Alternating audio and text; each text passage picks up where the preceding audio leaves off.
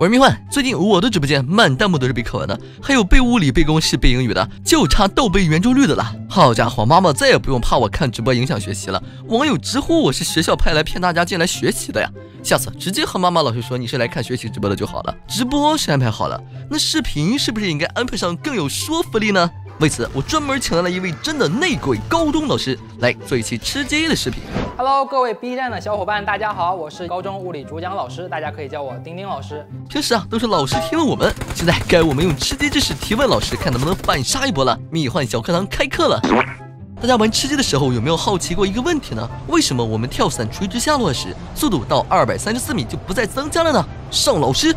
这是因为我们跳伞之后，除了会受到一个竖直向下的重力以外，还会受到一个方向向上的，随着我们速度不断增加。而逐渐增大的一个空气阻力，初期时我们的阻力较小，重力和阻力的合力向下，我们就会加速下落；而后期的时候，我们的阻力逐渐增大，直至和重力平衡之后，我们所受合力为零，就会进入到一个向下的匀速运动的状态。这件事情告诉我们呀，只要我们从足够高的楼往下跳，我们最后都会进入到一个匀速运动的状态。P.S. 如果说没有超能力的话，千万不要进行类似的尝试哦，否则可能就会。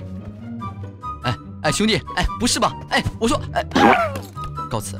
六六六啊！这还解决了我小时候另一个为什么雨滴不会砸死人的疑惑。不过我还有一个很多人都困扰的问题啊：使用点四五子弹的 Win 九四狙击枪伤害为什么比使用七六二更大口径的 AK 四七伤害高呢？首先跟大家科普一点，七点六二的单位是毫米，而点四五的单位是英寸，它约等于十一点四三毫米。也就是说啊，我们的 Win 九四它的口径实际上呀是要大于我们的阿卡四七的。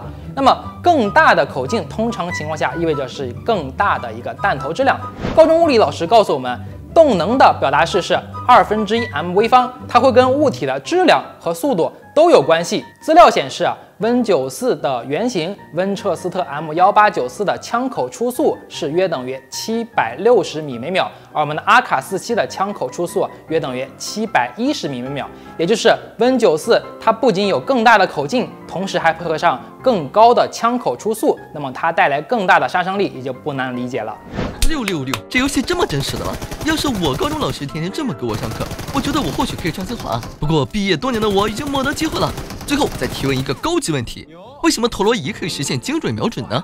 陀螺小的时候大家都玩过吧？如果说在空间中有一个自由转动的陀螺的话，由于惯性，它的转轴的方向是不会发生变化的。利用这个原理，我们在手机的内部内置了一个由电磁驱动的一个小型陀螺。那么当它旋转起来之后，它的转轴方向同样不会发生变化。那么它的方向不变，当我们转动手机的时候，手机的方向和这个转轴的方向，它的夹角就会发生变化了。